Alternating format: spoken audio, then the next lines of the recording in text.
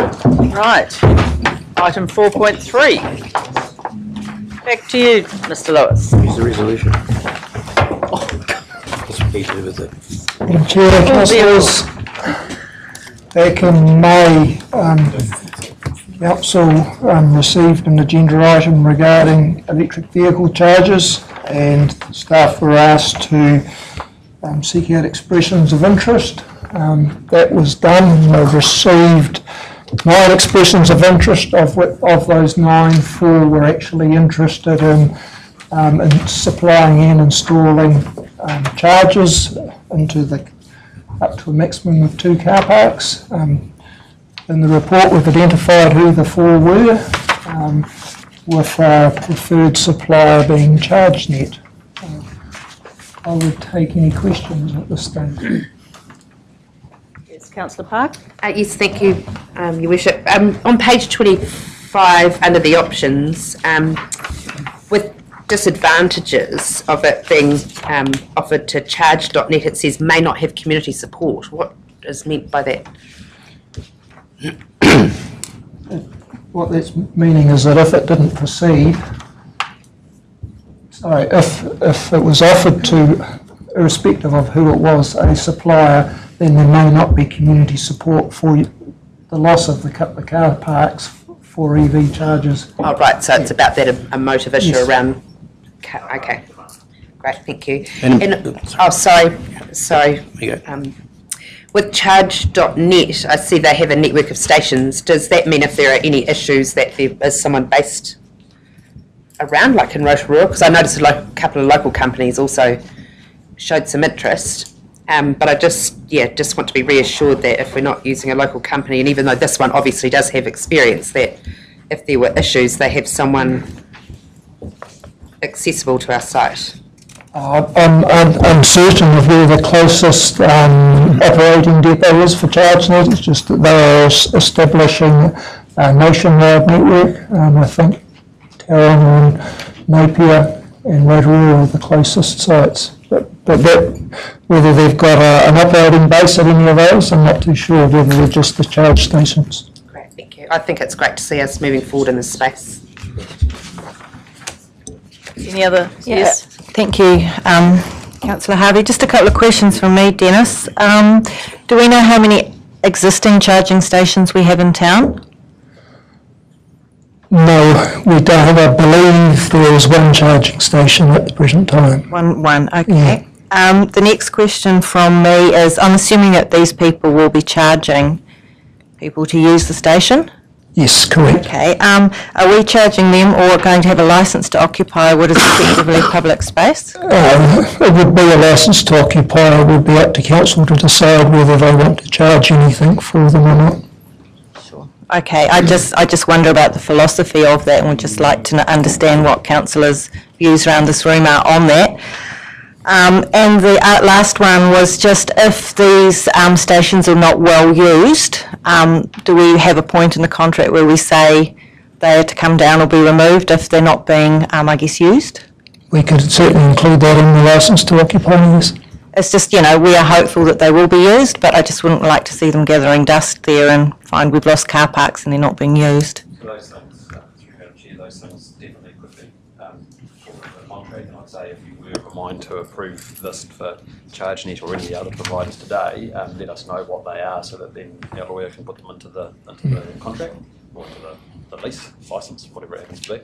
Um, so at this stage, all we've done is gone out and tested the market, and, and the recommendation is ChargeNet, given their, their national setting. Um, but really, it's up to you to identify um, now what, on what grounds do you allow it? You know, this is a new activity, we haven't allowed it on council land before. Um, so it's, it's, do you want to accommodate it, and if so, under what terms? Okay.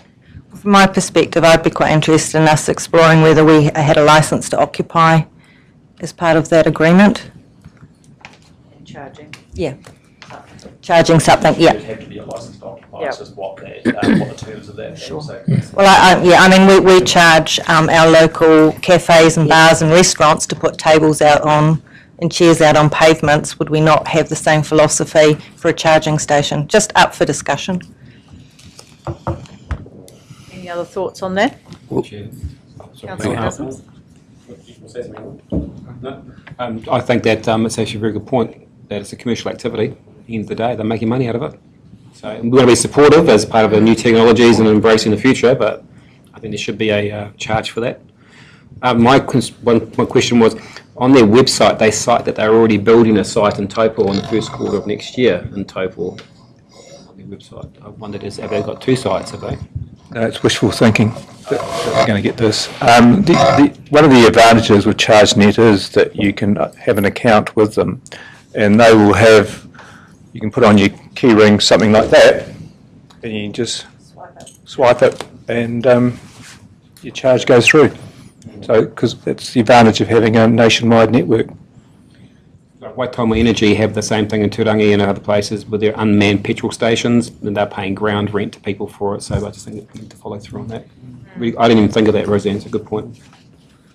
Um, Just through the chair, I'd be quite, I'm not closed to whether we charge, have a licence to occupy or not, but I'd be quite interested to see what other councils do because, I mean, one of the things about us is free parking and accommodating everybody, so we should be accommodating electric like we do mobility and everything else, I think. Um, so yeah, I'd be- just be quite interested to see what the other um, sort of councils in the areas that ChargeNet work with, what they do.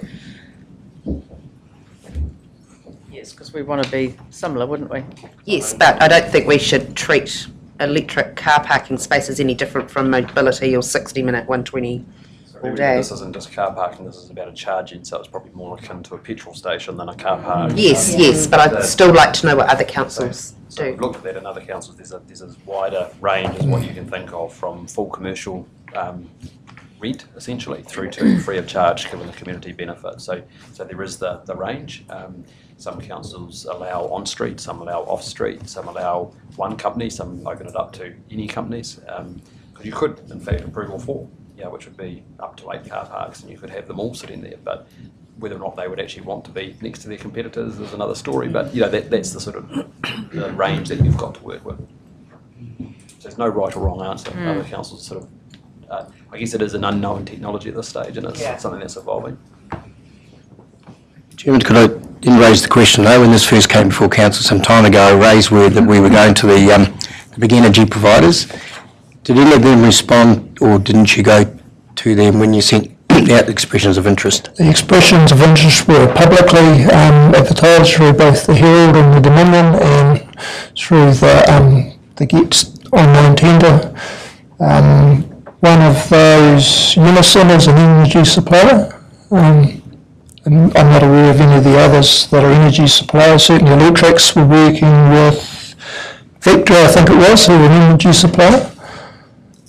I just think about the Zeds and the BPs and stuff, but if they haven't responded, I'll accept that.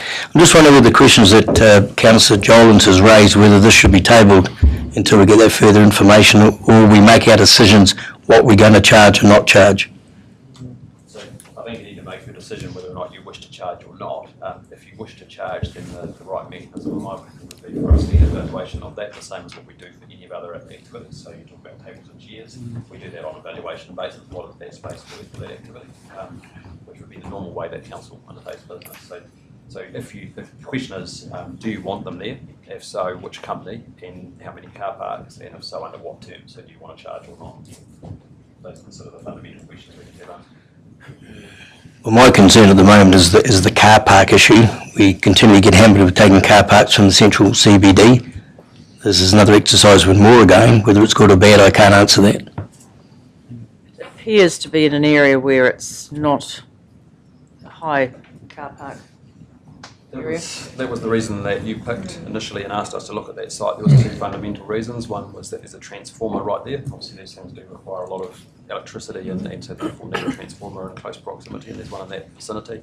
Um, and the second issue is that that's our le- under, most underperforming car park, off-street car park in the CBD at the moment. And I think the photo will show you that. You know, there's, there's a number of vacant spaces. I don't know what time the photo was taken, but a number of vacant spaces. Um, and it is our most underutilised car park in the CBD currently, which is why you initially asked us to look at that. site. So I think I'm happy enough that it's a viable proposition. It's just a matter of the charging, isn't it? So And, and just through the chair, just another thought too is the length of the licence to occupy in case we had some alternative uses for that land in the future. I mean, I quite like the location because you can mm. walk into town and you can mm. walk everywhere, so it's quite a pragmatic solution, but I wouldn't want to lock us in for too long. Just, just another thought for the table. Through the Chair, I'm happy to move, move the recommendation, but with that amendment that Gareth's talking about, that subject to mm. finalisation of the Yep. piece. Can we do it as a, like that? Yep. So you're happy to move the motion? With the changes as discussed. Do we have a seconder? I'll second that. All those in favour?